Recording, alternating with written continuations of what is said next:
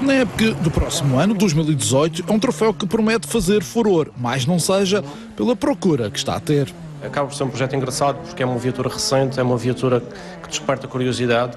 Uh, aliás, nós na altura no Super Especial chegamos a comentar isso. Era, era engraçado trazer aqui uma competição de carros baratos, neste caso os R1 para a Madeira, para o Campeonato Regional e juntamente aqui neste caso e passa a publicidade à PT Racing, que acaba por ser também a empresa que, que, de competição que está ligada a este projeto. E o Bernardo. Sousa Motorsport também? Sim, exatamente, o Bernardo com duas viaturas, a PT com três carros, juntamos aqui cinco viaturas que são provenientes do Challenge um, DS3 R1 do Campeonato Nacional que findou agora este ano e vamos trazê-los para a Madeira, vamos aproveitar e para a temporada de 2018 já há três carros, um para ser tripulado por Pedro Mendes Gomes, é um regresso, outro regresso de Alexandre Jesus. E um terceiro carro para já em regime de aluguer.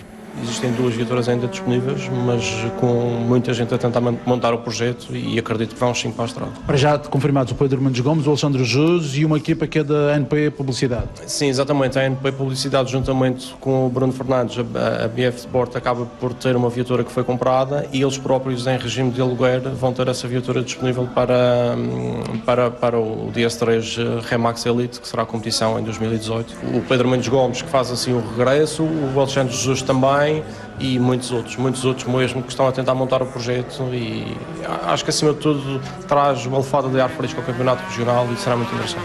O troféu Citroën DS3R1 promete dar que falar no próximo ano. É exemplo do que aconteceu no Campeonato Nacional nos últimos dois anos, onde o madeirense Diogo Soares foi o vencedor.